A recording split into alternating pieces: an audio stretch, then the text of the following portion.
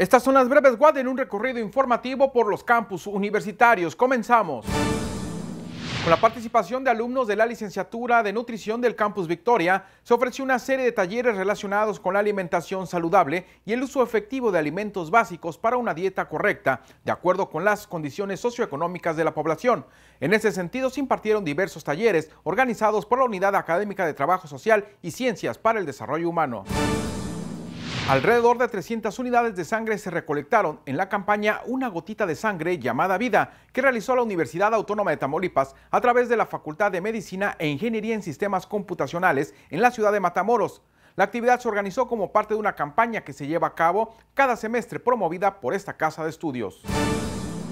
La Universidad Autónoma de Tamaulipas y el Instituto de la Mujer Tamaulipeca presentaron el foro Protocolo para proteger y asistir a víctimas de trata de personas, esto en las instalaciones de la Facultad de Derecho y Ciencias Sociales de Tampico con el objetivo de la prevención del delito de trata de personas e informar de los procedimientos establecidos para la atención y protección de las víctimas y posibles víctimas del delito.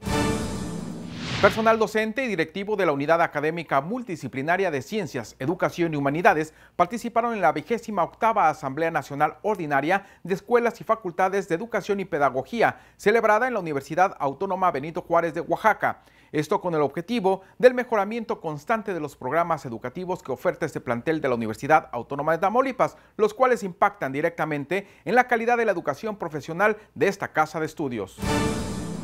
Componentes de talla nacional e internacional, la Facultad de Enfermería de Nuevo Laredo de la UAD realizará el tercer Congreso Internacional de Enfermería.